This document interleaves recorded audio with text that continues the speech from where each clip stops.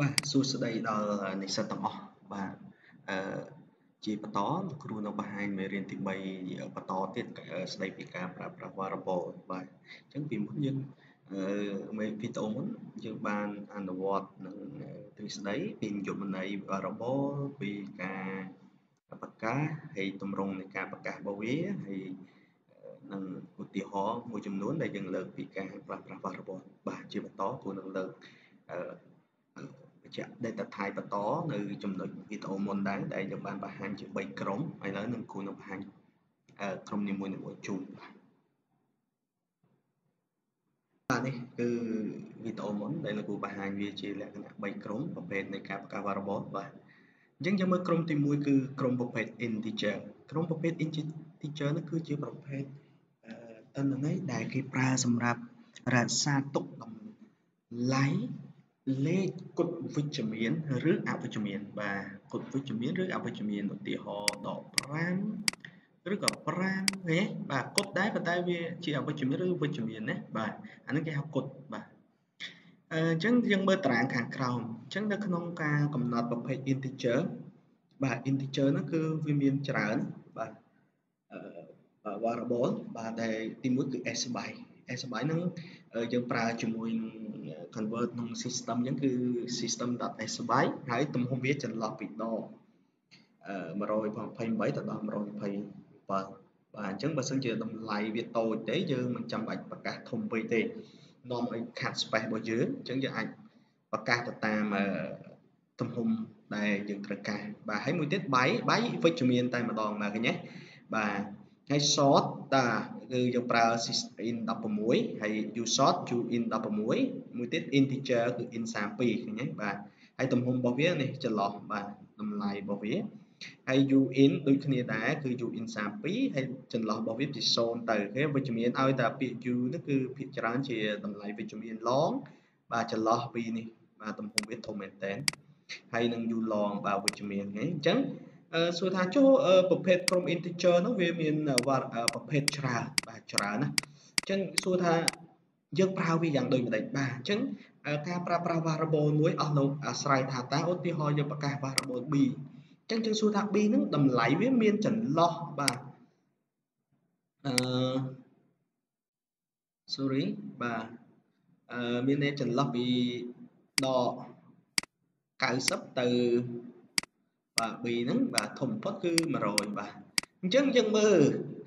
តម្លៃ B យើងក្នុងការ store ទុកព័ត៌មានវានៅចន្លោះហ្នឹងបើភាពចាក់ស្ដែងណាបាទអញ្ចឹងយើងមើលតើប្រភេទមួយណាដែលវាមានគេហៅថាផលល្អក្នុងការប្រើបាទអញ្ចឹងយើងមើល S បាយអញ្ចឹងវានៅចន្លោះពីដក20 128ទៅដល់127អញ្ចឹងយើងមើលដក100 28 128បាទហានេះបាន127បាទយើងមើលទំហំហ្នឹងវាបាក់ផាលគ្នាអញ្ចឹងយើងអាចជ្រើសរើសប្រភេទនេះបាទចុះប្រភេទផ្សេងបាយយើងមកវិជ្ជមានខុសបាត់ហ្នឹងឃើញទេអានេះអវិជ្ជមានមាន you short អឺ short ណាវាវាវាត្រូវដែរចន្លោះពីអវិជ្ជមានទៅវិជ្ជមានប៉ុន្តែទំហំវាធំពេកបាទនេះដូចគ្នាអញ្ចឹងយើងមើលចំណុចដែលល្អគឺ B យើងប្រភេទអី S បាយបាទអញ្ចឹងពេលអស់លោកបកការបស់គឺអស់លោកបណ្ណិតមើលថាតើអឺទំហំតម្លៃជាក់ស្ដែងញ៉ាំញ៉ាត់ដែលយើងត្រូវការរក្សាទុកតម្លៃក្នុង memory ហ្នឹងវាជាប្រភេទតម្លៃអឺតូចបំផុតរបស់វាត្រឹមប៉ុណ្ណាធំបំផុតត្រឹមប៉ុណ្ណាអញ្ចឹងវាជាចំនួនគុតទៀតបាទអញ្ចឹងយើងអាចប្រើប្រភេទហ្នឹងបាទណានេះជាមូលហេតុមួយដែលលោកគ្រូបង្ហាញយើងឲ្យយើងអាចចូលពីរបៀបនៃការប្រើបាទបន្តមកទៀតគឺតកតងជាមួយនឹង floating point បាទ floating point floating point នោះគឺជាប្រភេទទស្សភាគដែលគេប្រើសម្រាប់រក្សាទុកតម្លៃលេខជាប្រភេទទស្សភាគមានក្បៀសបាទក្បៀសហ្នឹងគឺដក5.7បាទឬក៏100.5ឬក៏100គុតបាទ100គុតហ្នឹងគឺអាច00ចេះបាទណាបាទអញ្ចឹងកន្លែងហ្នឹងអស់លោកអាចមើលដឹងណាបាទជាតម្លៃរបស់វាបាទទស្សភាគវាមានគុតមាន ក្បៀសមានអីអវិជ្ជមានវិជ្ជមានក្នុងនឹងទាំងអស់ណាបាទអញ្ចឹងយើងមើលបន្តថាតើទស្សនវិជ្ជាវាមានអីខ្លះទីបាទអចឹងវាមាន3សំខាន់គឺ float float ហ្នឹងគឺគេប្រើបច្ចេកទេសក្នុងការសរសេរក្នុង C# គឺ single ណាកុំច្រឡំថា float ដែរគឺ single បាទទំហំវាគឺ1.5គុណនឹង10ស្វ័យគុណដក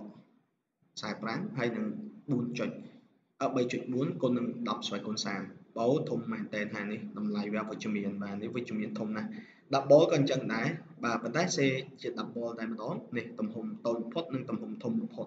មួយទៀតគឺ decimal decimal ហ្នឹងគឺប្រភេទទូសភាដែរនេះទំហំរបស់វាតូចបំផុតហើយធំបំផុតបាទអញ្ចឹង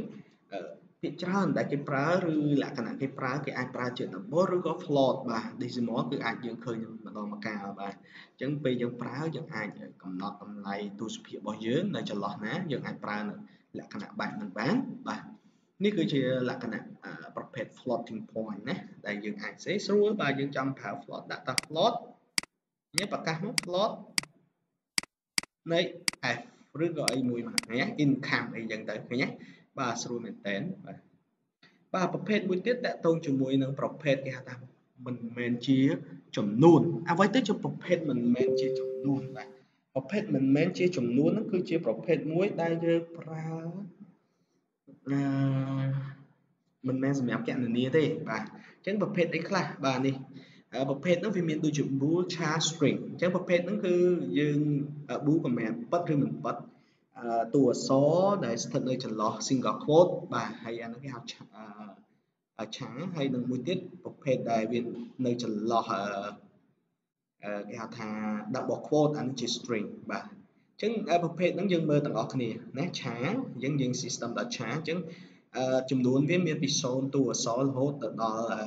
ប្រមាណនេះបាទ character បាទរវាងវាបាទ integer ដែល store ទុកបាទទំហំ integer បាទ ចឹងពេលខ្លះអស់ទៅអាចបំលែងវាពីលេខទៅអក្សរបានណាដោយសារវាមានលេខកូដ ASCII code បាទមួយទៀត boolean boolean ហ្នឹងគឺ bool គឺ